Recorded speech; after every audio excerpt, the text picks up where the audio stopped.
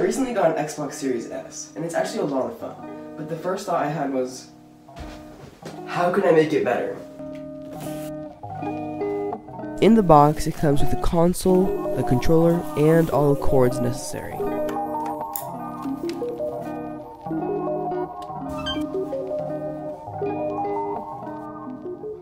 The first upgrade is fun, but not practical.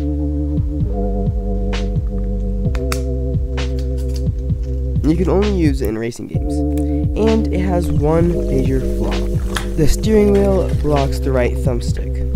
And if you don't use a metal bearing, the 3D printed one can get stuck sometimes. My aim sometimes can be really choppy.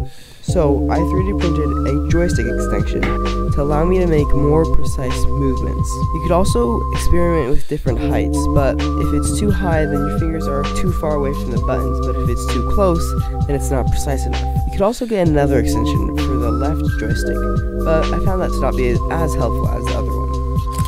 At first, I needed a place to put my controller, so I decided to make a dock that can dock the console and the controller together but I felt like it was missing something. So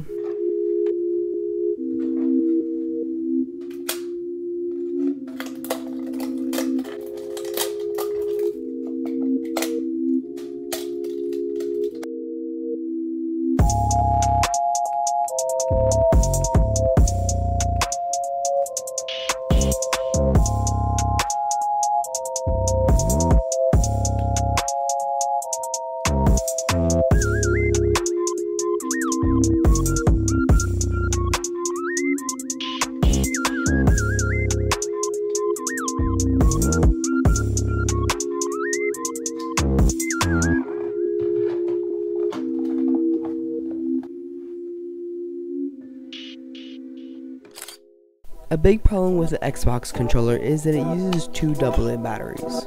So, whenever you run out of battery, you have to go downstairs and get a new pair of batteries. If you got four rechargeable batteries, you could have two charging and the other two in the controller.